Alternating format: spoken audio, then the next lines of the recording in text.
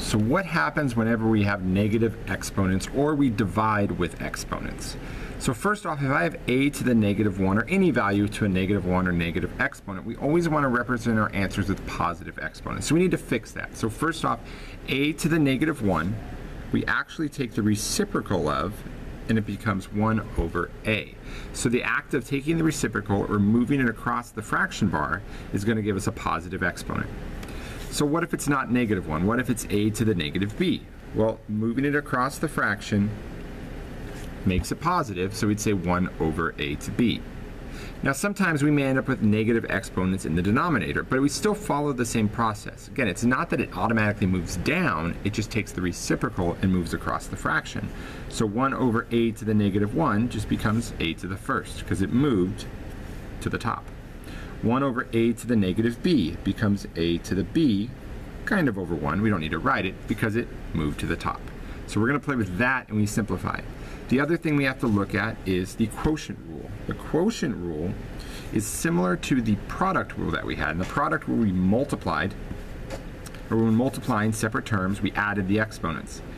For the quotient rule, let's think of if we moved this a to the c up, it become a negative exponent, kind of like what we're saying here. If we did that and followed the, the product rule, we would then have a to b minus c. And that's actually what we do. We subtract exponents. So anytime it's a quotient rule, subtract the exponents. We could go a little bit further. Let's look at it. What if it was a to the fifth over a to the third? Now in this case, I, I, could subtract and do 5 minus 3. But we also can say, well, this means we have 5a's over 3a's. And if I did a over a, that would be equivalent to 1. This would be equivalent to 1. And this would be equivalent to 1. So in this case, we're left with a squared, which you're looking at going, yeah, I, I get it. It's 5 minus 3. But sometimes it's easier to take the approach of saying, well, which side, top or bottom, has more, and by how many? So essentially, that's finding the difference and leaving with the terms we have. So something like a to the fourth over a to the seventh, instead of having to look at subtracting 4 minus 7, we could say, well, the bottom one has more, it has 3 more, and that allows us to simplify. So we'll use both of those approaches as we go through simplifying with our negative exponents and division. So, in the first step we have to look at coefficients. The coefficient we have here is 4 over 1. That's going to simplify to just still be 4 over 1. But let's look at the x's, x to the negative third and x to the fourth. So instead of thinking of subtraction, off to the side write this, x to the negative third, x to the fourth, I could write this as negative 3 minus 4, because it's a subtraction problem, and that gives me x to the negative 7 which follows the negative exponent rule, we get 1 over x to the 7th, which means it does go here. Let's throw a different way to look at it though. Anytime I get a negative exponent, well what if I wanted to make it positive? So if I took the negative 3 and moved it down, I then have x to the 4th and x to the positive 3, which becomes 1 over x to the 7th, same thing. A little bit easier than having to worry about the knowing the negative rule and knowing the quotient rule. So what if we had y to the negative 4 over y to the negative 2? I want to make them both positive, and it's that idea of taking the reciprocal, so it becomes y squared on top and y to the fourth on the bottom.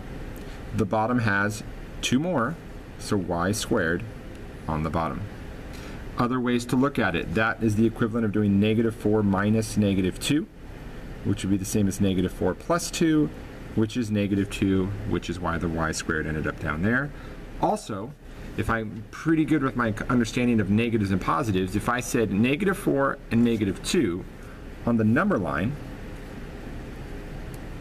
which one has more? Well, negative 2 is further over in the number line. It is 2 units more, so the bottom has more. Whatever approach you use to get to it, we just need to get that y squared in the denominator.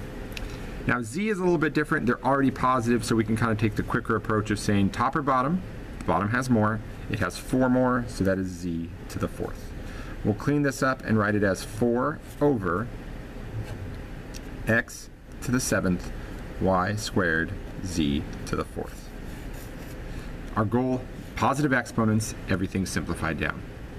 All right, so our next one, we have 4x to the third, y to the sixth, in the quantity of negative 2, and then x squared and y to the negative 3. Let's kind of go through and think about the uh, negative exponents and what that does first. This whole term with the negative, I can move that underneath the fraction. y to the negative third, I can move up.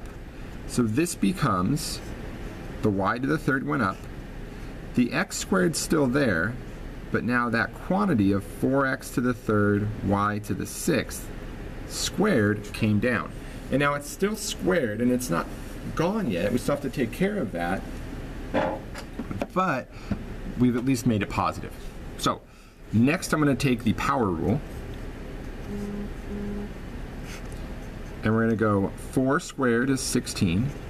x to the third squared, multiply, is x to the 6th, because I have 3 times 2. And y to the 6th squared is y to the 12th. Now, we're going to put everything together, get our final answer, get the x's, get the y's put together, and make sure all the exponents are positive. First off, I have my coefficient, that's 16 is going to hang out in front. I have x's, x squared and x to the 6th is going to leave me x to the 8th in the denominator. And then y to the 3rd and y to the 12th, there is 9 more on the bottom, so I go y to the 9th. Let's throw a 1 up there to hold the value, so that is 1 over 16, x to the 8th, y to the 9th.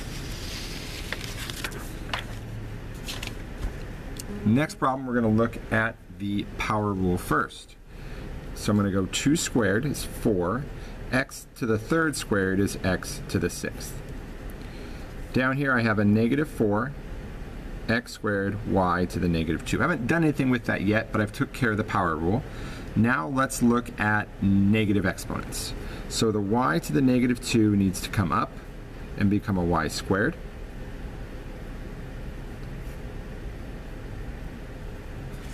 to get us here. So now I've cleared out all the negative exponents. Let's go through and finish it off. I have the coefficients out in front. 4 over negative 4 is just negative 1. I'm not going to put the negative down here. I'll put it at the top. x to the 6th over x squared has 4 more on top. So we're going to write x to the 4th on top. y squared is the only y squared. So that stays there. So our answer is negative x to the 4th y squared. The problem next to it, I could go into the power rule first, but I'm going to throw out the idea of, well, what about the negative exponent? Why don't I get rid of that first? And not so much the square, just the negative part of it.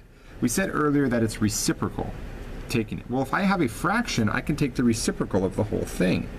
So let's go 3x to the third on top, 4xy on the bottom, and now it's a positive 2.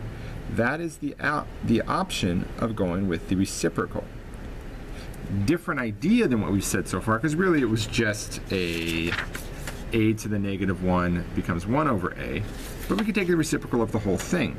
Another thing I could do first before the power rule, because power rule is really exponents in order of operations, I can do what's inside the parentheses. I got this x to the third over x.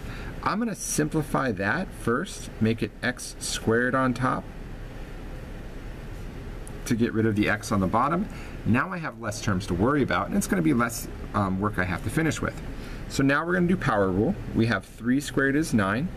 x squared squared, multiply, becomes x to the fourth. And then 4 squared is 16, and that's y squared.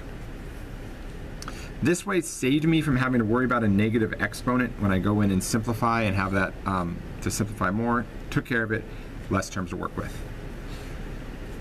Now, Next one, I'm going to do the power rule first. So that's going to become 25 a squared b squared times 3a to the third b.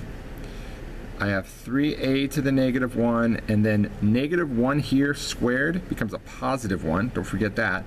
And then that's going to be b to the 6th. Now I don't need to write the positive 1, but it would be there. So I see I have a negative exponent here. I'll move that up and kind of put some things together. So I have 25 and 3 is 75. The 3 on the bottom comes along. a squared, a to the third, and the 1 coming up becomes a to the 6th. b's, I have 3. I'm left with on the bottom b to the 6th. So now we finish the problem. 75 over 3 actually just becomes 25 over 1. A to the 6th is the only a left. That's going on the top. And then I have 1b on top because it's b to the 3rd over b squared. So my actual answer, I don't need to write as a fraction, is 25a to the 6th b. Next problem, I'm going to try to get rid of that negative exponent first. So I'm going to take the reciprocal, make it y squared over x, times, now we're going to do power rule here, x to the negative 4 over y squared. Now this is multiplication, so I can put them together, y squared times x to the negative 4 over x times y squared. This negative 4 is going to come down, so that's going to leave me with 5 x's in the denominator, along with this one. And then y squared over y squared really just becomes 1, so my final answer is 1 over x to the fifth.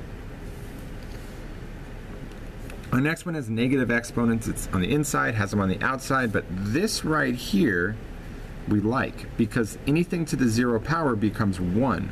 So this whole fraction is now 3p to the negative 2q to the negative 1 over 1 because it's gone. Now, the negative exponent, let's take the reciprocal, make it positive, so that's p, 3p to the negative 2q. Still have a negative exponent there, so p squared comes up and 3q stays on the bottom. So we get an answer of p squared over 3q.